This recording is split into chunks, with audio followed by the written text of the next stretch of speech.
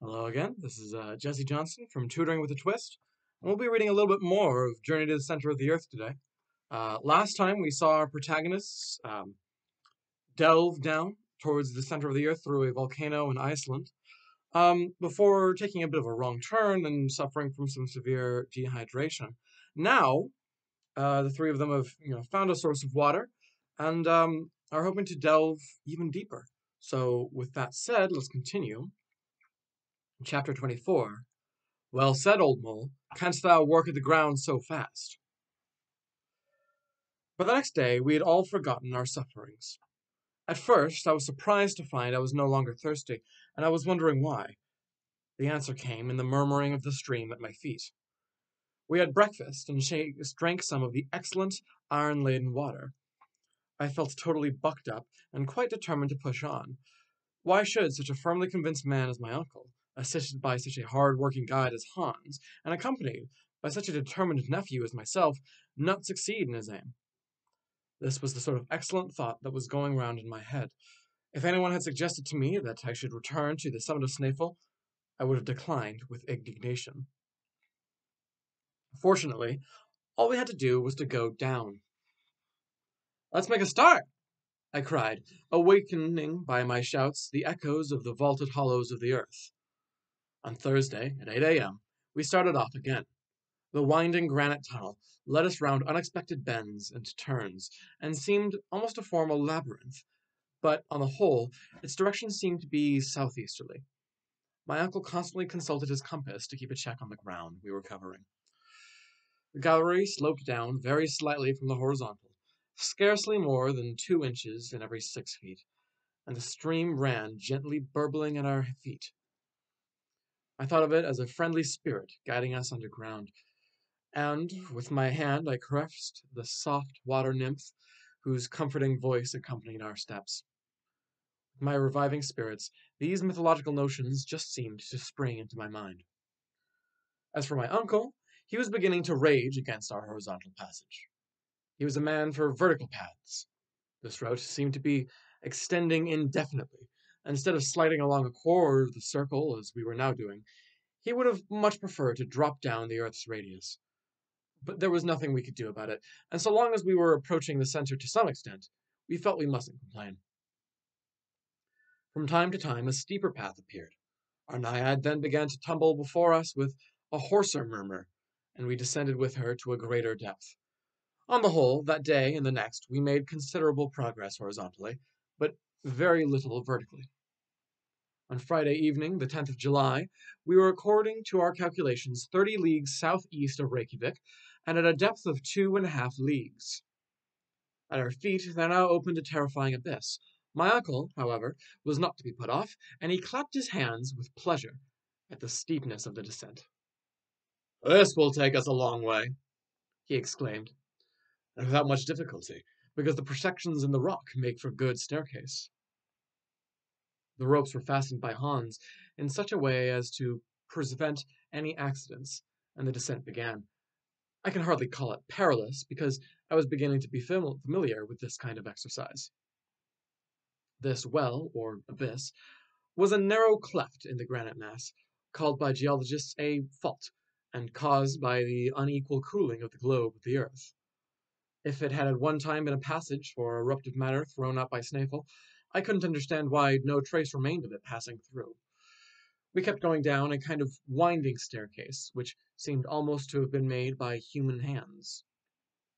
Every quarter of an hour we were forced to stop for a short rest to allow our knees to recover.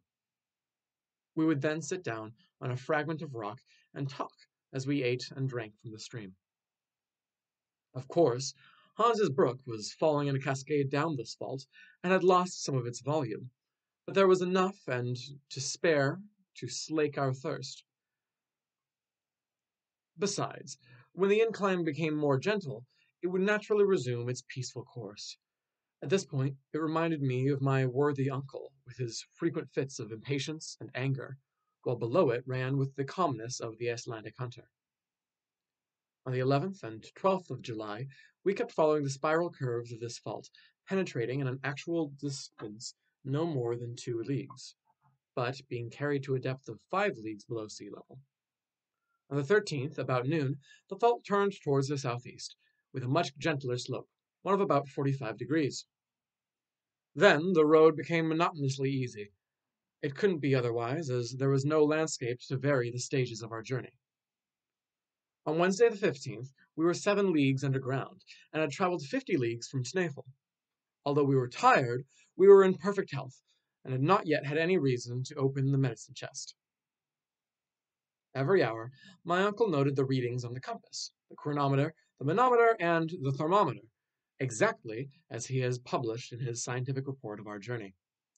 It was therefore not difficult to know exactly where we were, when he told me that we had travelled fifty leagues horizontally, I couldn't hold back an exclamation of astonishment at the thought that we had not now long since left Iceland behind us. What's the matter? he exclaimed. I was just thinking that if your calculations are correct, we are no longer under Iceland. Do you think so?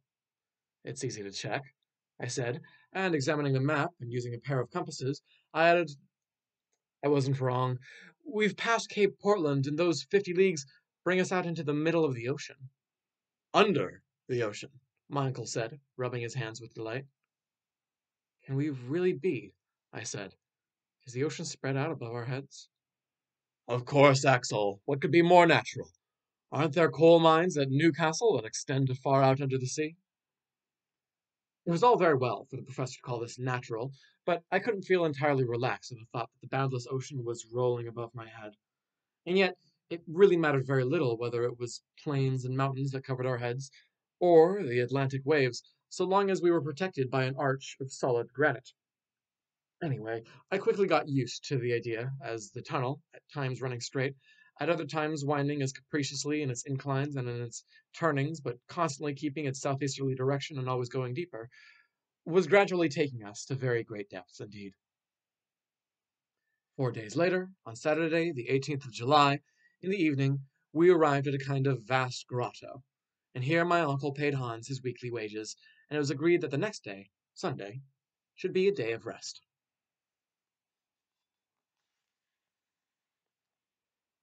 Chapter 25 De Profundis I therefore awoke the next day relieved from concerns about an immediate start, and although we were in the deepest of chasms, there was something quite pleasant about it. Besides, we were beginning to get accustomed to this troglodyte life. I no longer thought about the sun, the moon, or the stars, nor about trees, houses, and towns, nor about any other of those superfluous things that those who live on the earth's surface consider necessities. Being fossils, we considered all those things as mere nothings. The grotto formed an immense hall. Along its granite floor ran our faithful stream. At this distance from its spring, the water was scarcely warm, and we drank it with pleasure. After breakfast, the professor spent a few hours sorting his daily notes. First, said he, I'll make a calculation to ascertain our exact position. I hope, after our return, to draw a map of our journey which will be in reality a vertical section of the globe, containing the path of our expedition.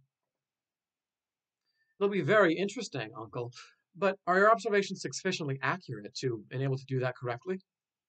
Yes, I have everywhere observed the angles and inclines. I'm sure there are no errors. Let's see where we are now.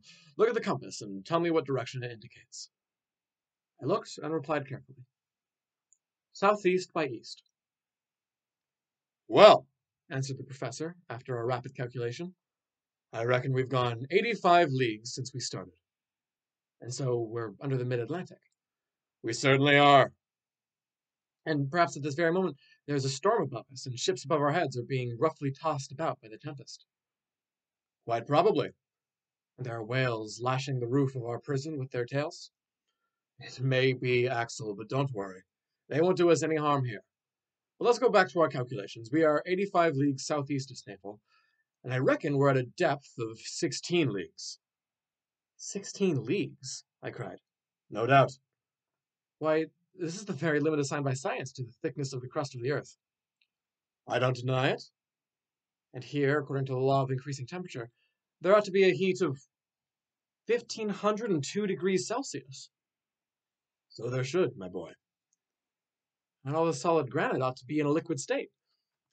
Uh, you see that it is not so, and that, as so often happens, facts arise to overthrow theories.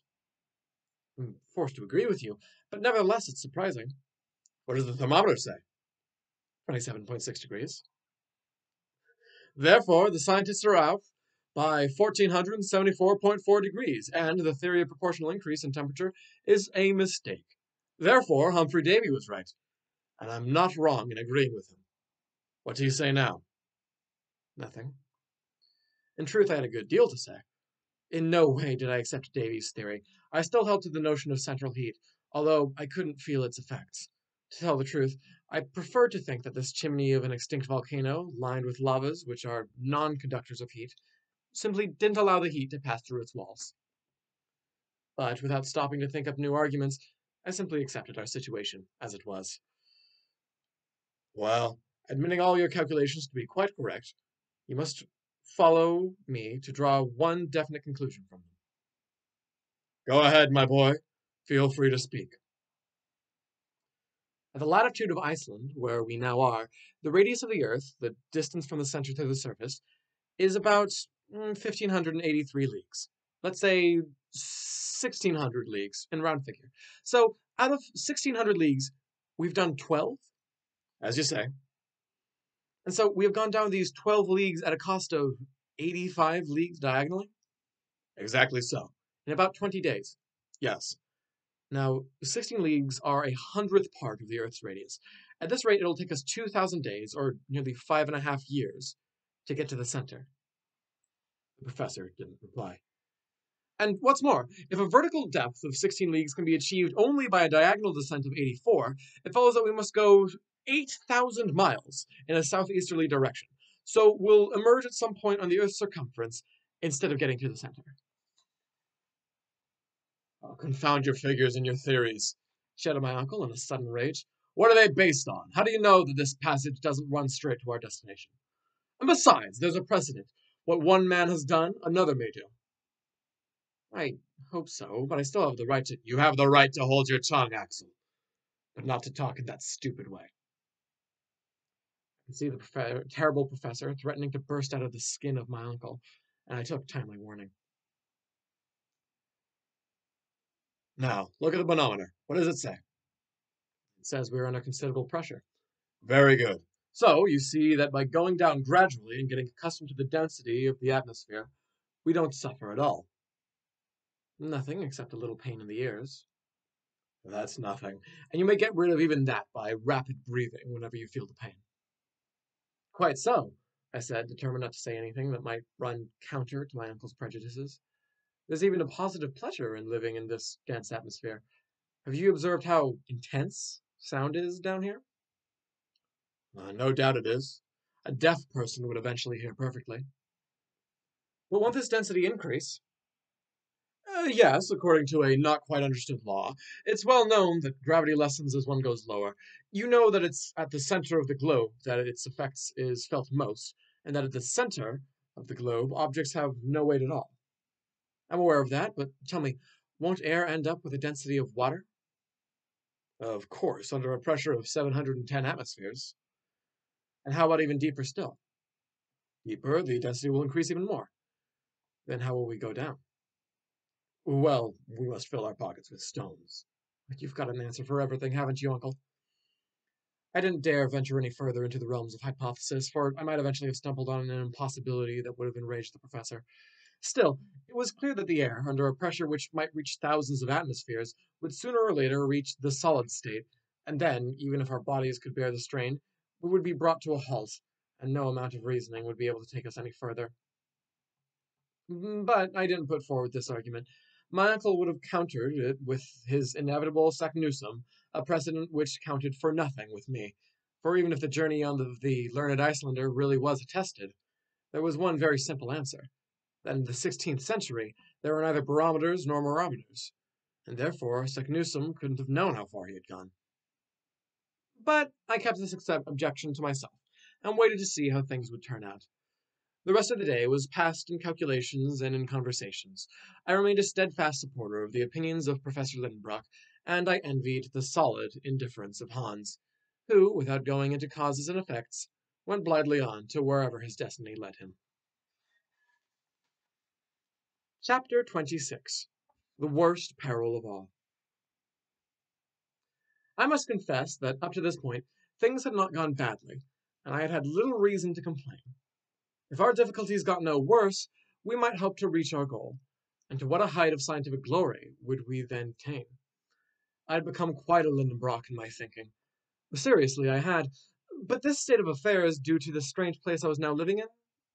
Perhaps. Several days, steeper inclines, some terrifyingly close to perpendicular, took us deeper and deeper into the interior of the earth. Some days we advanced nearer to the center by a league and a half, or nearly two leagues. These were perilous descents, in which Hans's skill and incredible coolness were invaluable. The calm Icelander gave of himself with an incomprehensible lack of concern, and thanks to him we crossed many a dangerous spot which we would never have cleared alone. But his habit of silence was increasing day by day, and was infecting us too. External objects produce definite effects on the brain. A man shut up between four walls soon loses the power to associate words and ideas together. How many prisoners in solitary confinement become idiots, if not mad, for lack of exercise for the faculty of thought? During the fortnight following our last conversation, nothing happened that's worth recording. But I have good reason to remember one very serious incident which took place about this time, and of which I could scarcely even now forget the smallest details. By the 7th of August, our successive descents had brought us to a depth of thirty leagues. That is, for thirty leagues above our head, there were solid beds of rock, oceans, continents, and towns. We must have been two hundred leagues from Iceland. On that day, the tunnel led down a gentle slope I was ahead of the others. My uncle was carrying one of the Ruhmkorff lamps, and I the other. I was examining the beds of granite. Suddenly turning around, I realized I was alone. Oh well, I thought. I've been going too fast, or Hans and my uncle have stopped along the way. Well, that won't do. I must rejoin them. Fortunately, there's not much of an ascent. I retraced my steps. I walked for a quarter of an hour. I gazed into the darkness. I shouted. No reply. My voice was lost in the midst of the cavernous echoes which alone replied to my call. I began to feel uneasy. A shudder ran through me. Just keep calm, I said aloud to myself. I'm sure I'll find my companions again. There aren't two paths. I've just gone too far ahead. All I have to do is retrace my steps. For half an hour I climbed up. I listened for someone's calling, and in that dense atmosphere a voice could carry a long way. But there was a dreary silence in the whole of that long gallery. I stopped. I wanted to believe that I was just disoriented, not lost. I was sure I would find my way again. Come on now, I repeated. Since there's only one passage, and they're in it, I'm bound to find them again. All I have to do is keep going up.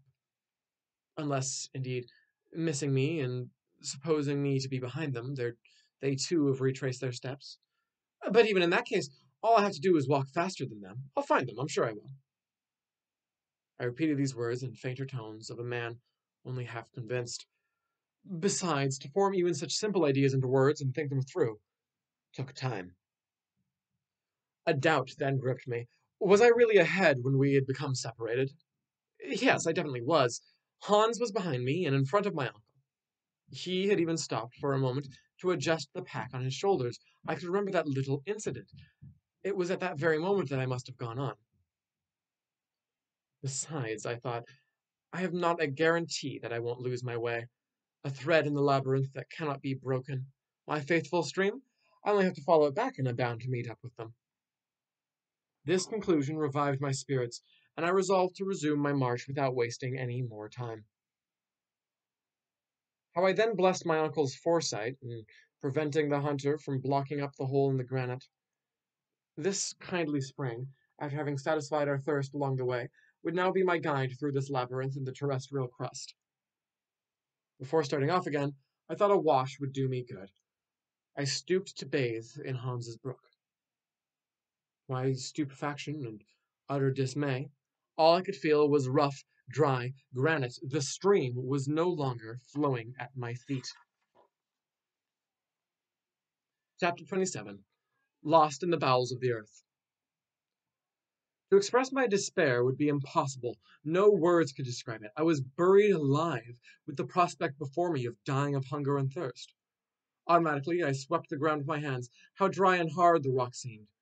But how could I have left the course of the stream? For the terrible fact was that it was no longer running beside me. Then I understood the reason for the terrible silence when I had last listened for any sound from my companions.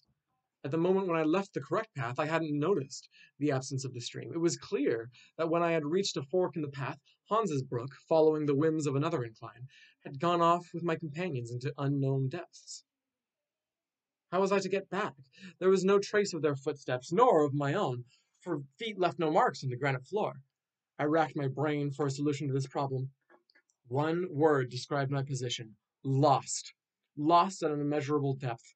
Thirty leagues of rock seemed to be weighing down on my shoulders with a dreadful pressure. I felt crushed beneath it. I tried to make myself think about the things on the surface of the earth. I could hardly manage to. Hamburg, the house in the Königstrasse, my poor Graben, all that busy world underneath which I was wandering about, was passing in rapid confusion through my terrified memory. I could see again, with vivid reality, all the incidents of our journey, Iceland, Mr. Fridriksson, Snæfell.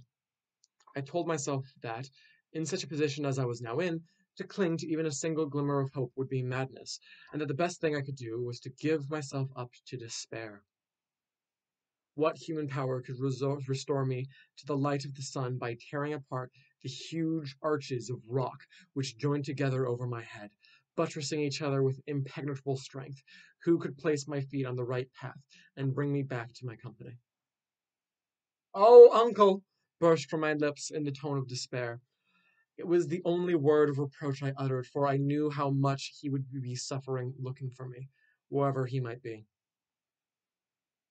When I saw myself in this way, far removed from all human help, and unable to do anything to save myself, I turned to heaven for aid. Memories of my childhood and of my mother, whom I had only known in my tender early years, came back to me and I knelt in prayer, imploring the divine assistance I was so little worthy of. This return to trust in God's providence made me calmer, and I was able to concentrate the full force of my intelligence on my situation. I had three days' provision with me, and my flask was full, but I couldn't remain alone for long. Should I go up or down?